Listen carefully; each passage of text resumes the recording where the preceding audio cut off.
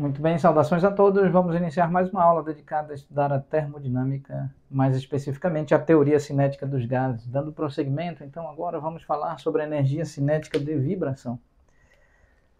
É, energia cinética de vibração, energia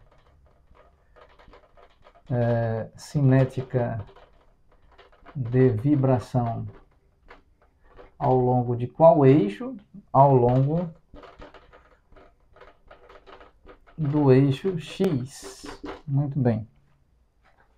Então, com base na mecânica clássica, né, pela teoria de oscilações estudadas no âmbito da mecânica clássica e da física de fenômenos ondulatórios, pois a teoria de oscilações também dá fundamentação à física de fenômenos ondulatórios, é, nós temos a energia cinética de vibração, aqui expressa energia cinética de vibração, ao longo do eixo X. Isso é igual uh, a μ dividido por 2 multiplicado pela derivada da posição em relação ao tempo do vetor r, que é o vetor que une, esse vetor r é o vetor, não é exatamente o vetor posição, mas é o vetor que une o átomo 1 com o átomo 2 no contexto, é, no âmbito, no contexto da molécula diatômica. E então nós temos é, esse termo elevado a. Aqui está. Trata-se de um vetor, esse módulo desse vetor elevado a expoente 2, certo? Onde esse μ, esse μ é denominado de massa massa reduzida. E esse conceito de massa reduzida nós trataremos oportunamente é, no contexto, no âmbito da nossa playlist intitulada Mecânica Clássica, uma outra playlist entre mais entre aproximadamente 15 a 16 playlists que até a presente data estão disponíveis estão exibidas no nosso canal intitulado Professor Damião Meira, canal este sediado e hospedado na plataforma do YouTube. Então lá nós trataremos no ambiente, não é, no sob contexto da playlist de mecânica clássica, trataremos ma mais detalhada e precisamente sobre a massa reduzida, como calcular, como defini-la.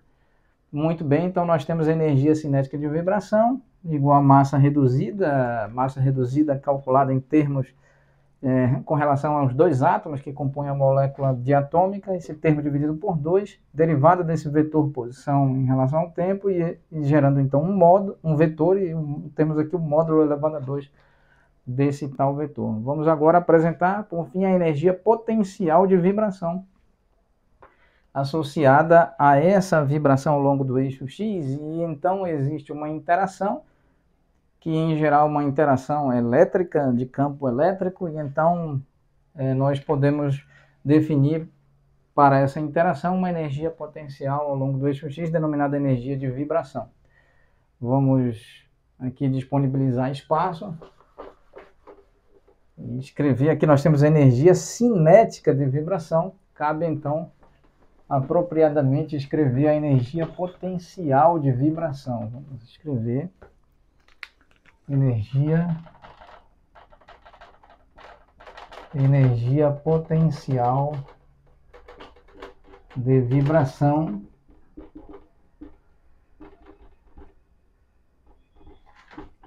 Ao longo do eixo X.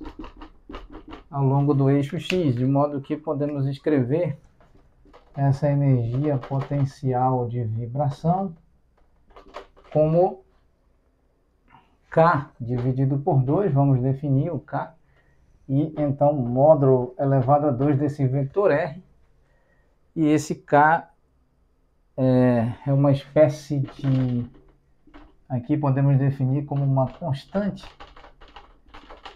é, uma constante da força,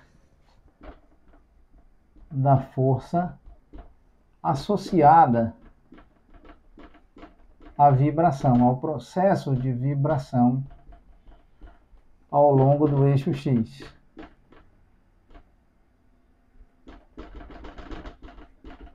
Muito bem, então é, temos essas definições e vamos continuar o desenvolvimento dessa discussão, pois agora nós vamos verificar. É, nós podemos, inclusive, afirmar que as contribuições à energia total são funções quadráticas, tanto da grandeza velocidade quanto da grandeza coordenada. Então, e, a, e considerando as coordenadas lineares e angulares, certamente. Então, é, vamos encerrar a aula nesse ponto, retomaremos oportunamente. Muito obrigado a todos.